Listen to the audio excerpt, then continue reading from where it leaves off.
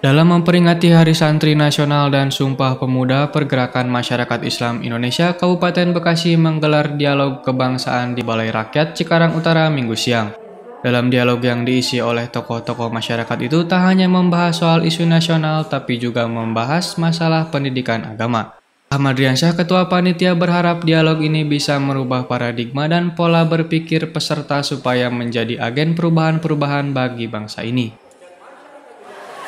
PMI dalam mempersatukan NKRI ini eh, kita sudah memang ada instruksi langsung dari PMI terkait mempersatukan NKRI ini. Eh, kita sering juga berkomunikasi dengan kalau di Kabupaten Bekasi ini tuh ada pemuda, pemuda lintas agama kita juga sering berdiskusi dengan pemuda lintas agama uh, harapannya dengan kita sering berdiskusi maka kita akan tahu karakter dari atau sifat-sifat dari pemuda-pemuda khususnya teman-teman mahasiswa yang berbeda agama dengan kita agar bisa bersatu.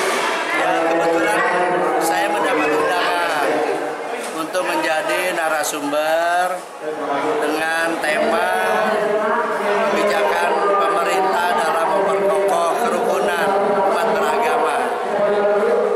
Kalau rangkaian acaranya sendiri seperti seperti apa, Rangkaian acaranya? Rangkaian acaranya Ya tadi saya lihat diawali dengan pelantikan pengurus cabang pergerakan mahasiswa Islam Indonesia, kemudian dilanjutkan dengan dialog kebangsaan.